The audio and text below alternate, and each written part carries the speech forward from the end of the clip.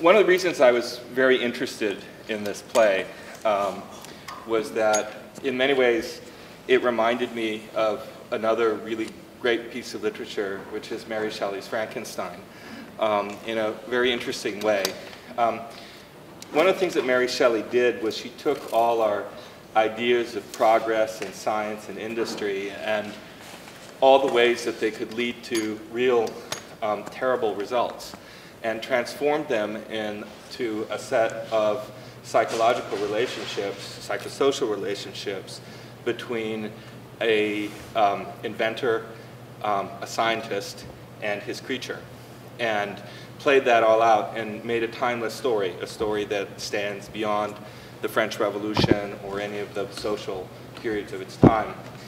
I think one of the things that, that Karen has done is she has taken all these social and political relationships that I have studied, that Josh has studied, the people that we have known. It was really interesting watching her play and knowing, you know, who leaked the Red Cross report and to whom, and, you know, watching all these things all compressed into a relationship between six people and watching their relationships develop over a period of eight or nine years.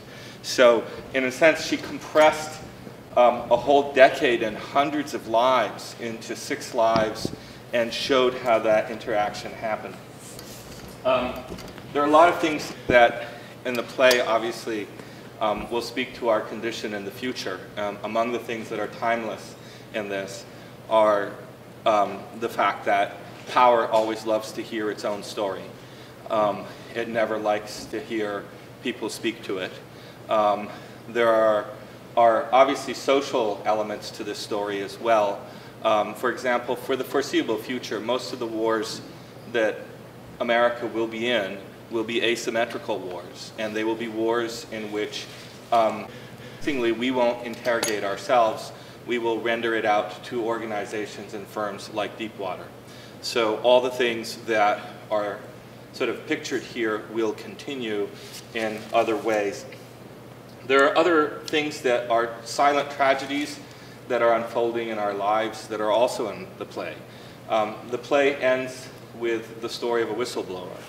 And it's important to recognize how important the whistleblowers were in the course of the last um, uh, decade. But it's also important to realize how persecuted the whistleblowers continue to be.